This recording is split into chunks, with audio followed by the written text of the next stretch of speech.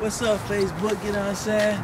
Yeah, I'm down here up in the old Dearborns, you know what I'm saying? Hollering at my guys and everything, you know what I'm saying? Chilling and everything, you know what I mean? Man, there's some funny people on Facebook, man, you know what I'm saying? People just crazy than a motherfucker, you know what I'm saying? You know, people be worrying about, you know what I'm saying, what you doing or following your head move or, you know what I'm saying? You know, don't worry about mine. Don't worry about what I'm doing.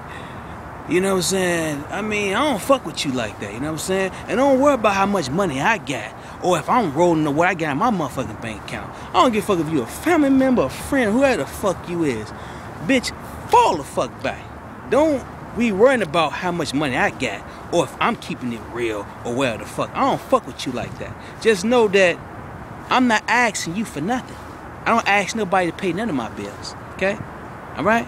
So that should be enough for you right there. And as far as, you know, a lot of these people out here, you know, be talking, you know, about God and praising God. So that's good. Man, all praise due to God. That's wonderful, you know what I'm saying? But some people just be haters and broke and you know a lot of these dudes haters and broke so they they mentioning god as a scapegoat so people can see they good or they this that and the other when i don't think you that good man you just want to find an excuse to point the finger at somebody.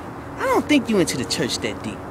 I think maybe you're an alcoholic or something, you know what I'm saying? So, you know, man, you know what I'm saying? And if you out here, you out here handling your business, that's a good thing.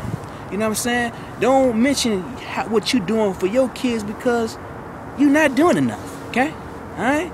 And me, in my religion, I'm responsible for the kids I raised. I'm not responsible for no hood rat kids or what a hood rat teaches or who a hood rat bring around her kids. You know what I'm saying? I'm not finna go to jail for none of these females. So on that note, you know what I'm saying? I'm finna, you know what I'm saying, you know, get back to take care of my little old business, you know what I'm saying? No. Enjoy the rest of my day. Till next time, peace.